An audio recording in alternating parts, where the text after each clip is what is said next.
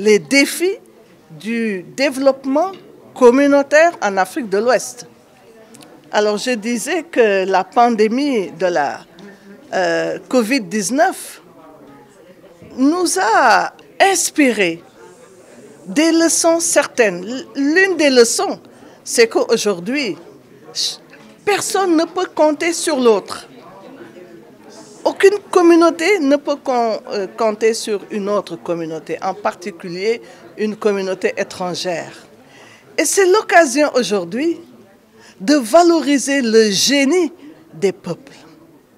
Et Dieu sait que ce génie des peuples, on le retrouve en Afrique, avec ses savoirs locaux extraordinaires que nous avons hérités de nos ancêtres et que nous devons valoriser dans tous les domaines, dans le domaine du développement économique, l'agriculture par exemple, dans le domaine de la santé avec notre pharmacopée africaine qui peut aider le monde entier à s'en sortir.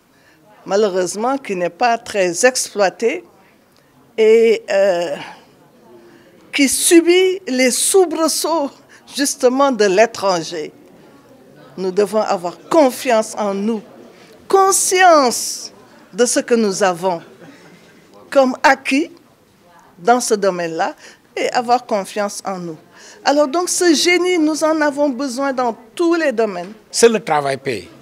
Les gens doivent se battre et se suffit de leur sueur, du sueur du front et avoir de l'abnégation en bandoulière pour réussir dans la vie.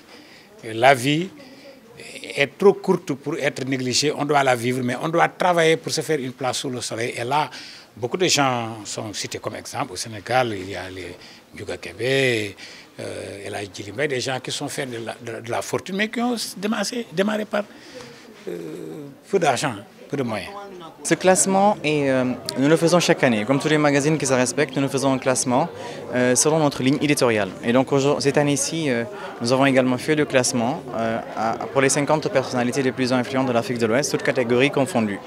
Et alors, nous nous basons sur trois critères spécifiques que sont le, le profil, ensuite l'impact des activités du nommé dans sa communauté, ensuite la notoriété. Je pense que c'est ce qu'ils partagent tous le, mieux ensemble. L'objectif euh, de cette rencontre ouest-africaine justement.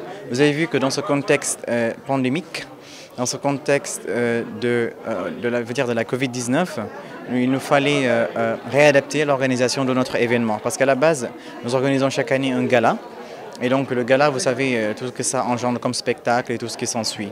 Par contre, cette année, nous avons décidé d'abord de, faire observer les mesures de distanciation sociale.